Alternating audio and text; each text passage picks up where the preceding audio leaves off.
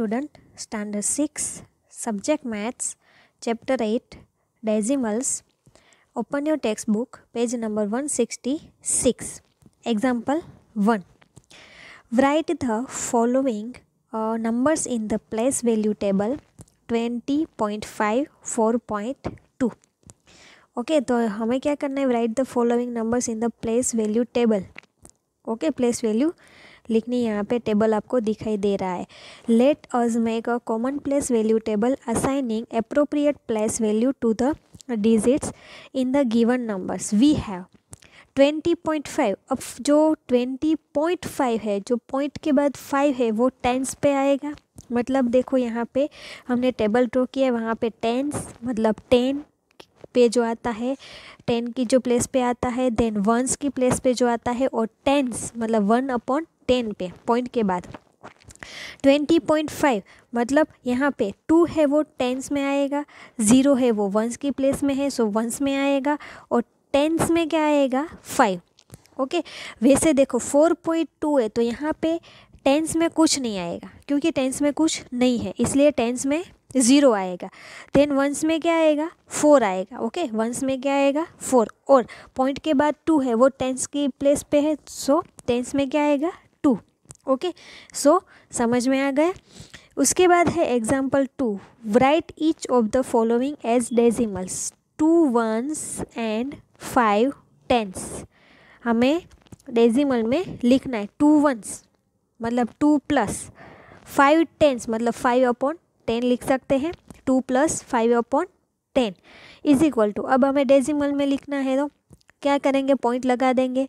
तो two point five हो जाएगा। ओके क्या हो जाएगा? टू पॉइंट फाइव वैसे देखो thirty and one tenth thirty है three zero plus one tenth मतलब वन अपॉन टेन मतलब thirty point one okay thirty and one ten thirty plus one ten one upon ten मतलब thirty point one okay write each of the following as decimals thirty plus six plus two upon ten, इसे हमें point में लिखना है। So how many tens? यहाँ पे tense कितने हैं? देखो यहाँ पे, टेंस कितने हैं? थ्री है।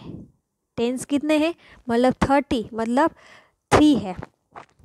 वंस कितने हैं? सिक्स है। वंस की प्लेस पे सिक्स है। है?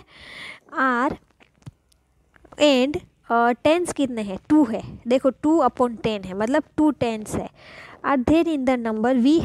Three tens six ones and two tens therefore the decimal representation thirty six point two okay क्या आएगा? थर्टी सिक्स पॉइंट टू वैसे सिक्स हंड्रेड मतलब हंड्रेड की प्लेस पे क्या है? कितने हैं? सिक्स है हंड्रेड सिक्स है. देन टेंस टेंस नहीं है.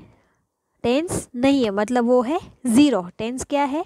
ज़ीरो उसके बाद है, उसके बाद आता है वंस वंस पे प्लेस पे क्या है? टू है. क्या है? टू वंस एंड टेंस कितने हैं? Eight eight tens four the decimal representation is six hundred two क्या आएगा? Six hundred two point eight क्योंकि ज़ीरो क्यों लगाया? नो टेंस टेंस की प्लेस पे कुछ नहीं है, इसलिए. Okay six hundred two point eight fractions as decimals we have already seen how a fraction with denominator 10 can be represented using decimals. Let us now try to find decimal representation of 11 upon 5 and 1 upon 2 let us now try to find decimal representation of 11 upon 5 and 1 upon 2 we know that eleven upon five is equal to अब हमें denominator में क्या चाहिए? Zero वाला figure चाहिए ten hundred thousand वैसा ही चाहिए तो ही हम उसे डेजिमल में लिख सकते हैं।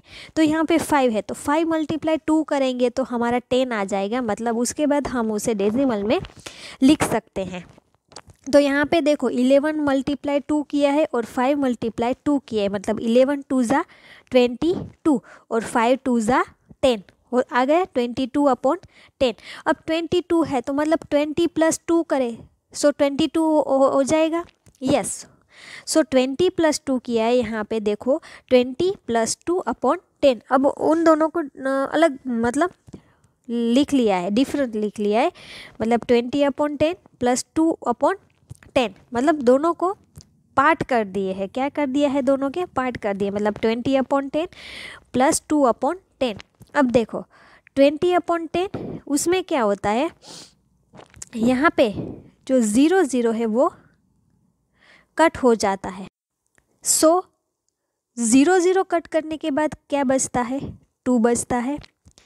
प्लस उसके बाद है टू अपॉन टेन मतलब इसको हम डेजिमल में लिखेंगे तो two point two upon ten है मतलब टू मतलब two point two two upon ten is equal to two point two in decimal notation in one upon two the denominator is two इसमें डेनोमीटर टू है.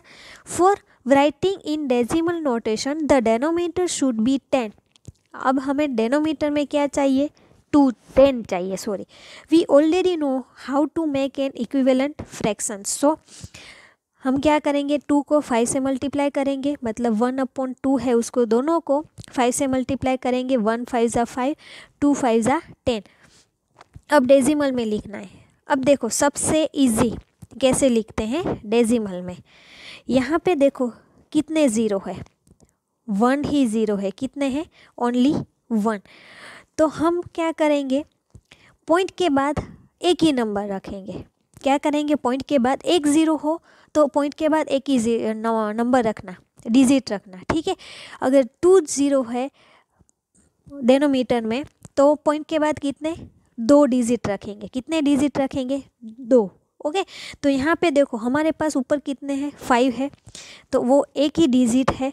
तो हमें point के बाद एक डिजिट रखना है तो ये एक डिजिट ही है तो उसके पहले हम पॉइंट लगा दें तो आगे क्या हो जाएगा? Zero zero point five okay there four one upon two is zero point five in decimal notation decimals as fractions till now sorry आपको ये ट्राई दिस वाला है, वो आपको ट्राई करना है okay decimal as fractions till now we have learn how to write fractions with denominator ten two और five as decimals can we write a decimal number like one point two as a fraction one point two है, उसे हम fraction में कैसे लिखेंगे? तो हम देखो, सबसे इजी बताऊँ, वन पॉइंट टू। पॉइंट के बाद कितने हैं? डिजिट एक ही डिजिट है मतलब डेनोमीटर में क्या आ जाएगा? टेन आ जाएगा, अब ट्वेल्व, उसे रख दो मतलब ट्वेल्व अपॉन टेन।